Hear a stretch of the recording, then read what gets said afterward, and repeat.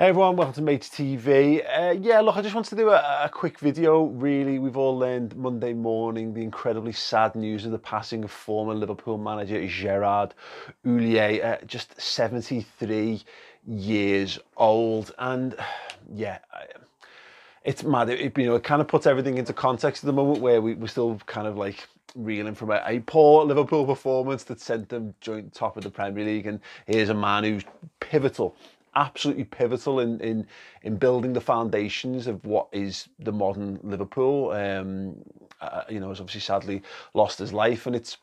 I mean, it's great to see the outpouring, uh, uh, you know, of, positivity and the memories around him. And and for me, Gerard Houllier is absolutely massive. I, I, talk a lot about Rafa Benitez, probably too much really. Um, and obviously we, everyone's so enamoured with what Jurgen Klopp's doing. And if you have different ages and different generations, you've got your own manager.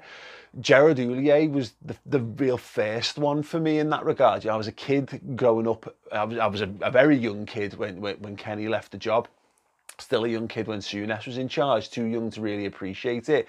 Roy Evans then takes over, but when Houllier comes in, I'm a, I'm a teenager at this point, and that's when I'm I'm properly properly into football. And you know the treble season is rightly celebrated, and maybe actually slightly almost forgotten in some regards because of what goes on in 2005 with the Champions League and subsequent. But that season for me, I, 2000, 2000, 2001, I was 17, going 18 years old, the real formative stage of my life.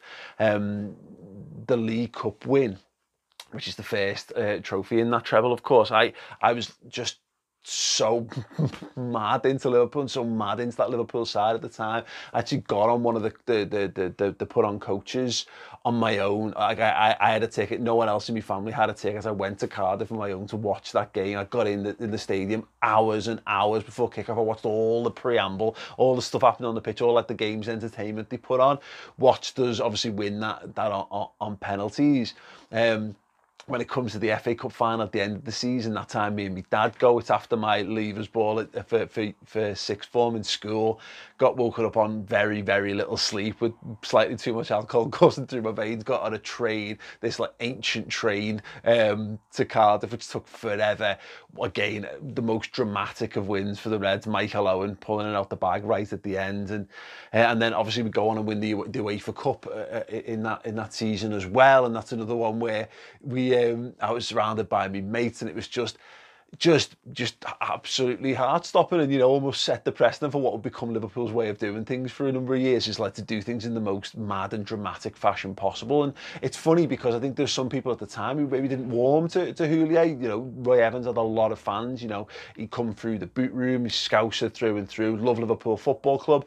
And the way that the, the Houllier was brought in really wasn't in keeping with the you know the, the way that we wanted the football club to be run, that kind of joint managership. But you know, Houllier came in in the situations and he helped to modernise Liverpool. He helped to build Liverpool. And you look at the things that he, he achieved in the games that we won and the, and bringing back the big European nights to the to the football club. Think about the Barcelonas and the Romas and of course, yeah, you know, winning the winning the UEFA Cup as well.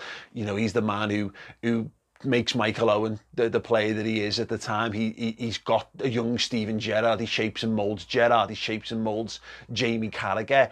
You know, he is the the most important starting manager for all of these players to go on and have the careers that they had. And yeah, it's um you know, it's a shame that he doesn't get the opportunity in the same way to, you know, the, or doesn't get to win the big one, doesn't get to win either the big ones, the Premier League or the UEFA Cup. But I don't think that look Rafa. I don't know that Rafa is able to go and win the Champions League if it's not for the work that Houllier puts in before him.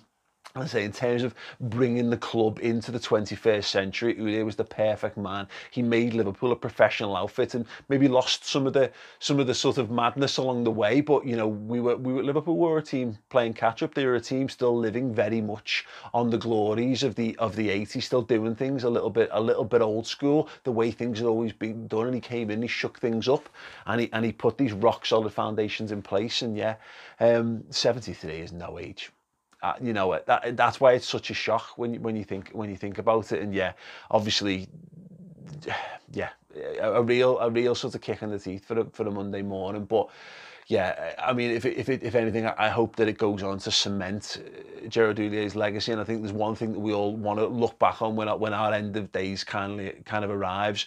We want to look back. We want the people can look back on the legacy that we've left behind, the things that we've achieved in life. And you know, he's he's a he plays an important role as a technical director in the French side that wins the World Cup in '98. He of course then rebuilds Liverpool, and he has a great spell at Lyon as well uh, after the fact. And he, the way that he's spoken of, he's spoken of so highly as a wonderful caring man. I had a very, very limited exchange with him, a very short interview I did with him a number of years back when he was brilliant. You know, he, he didn't have to take the time. He didn't have to be as, as welcoming, in the, you know, as he was, and he, he, he was absolutely fantastic. And yeah, um, a genuine Liverpool great, a, a genuine Liverpool legend um, has been lost, and it is a very, very sad day for it. But listen, let me know your favourite Gerard Houllier moments, whether it's, you know, player performances, matches, or, you know, whether you've had any interactions with him uh, in the comments below.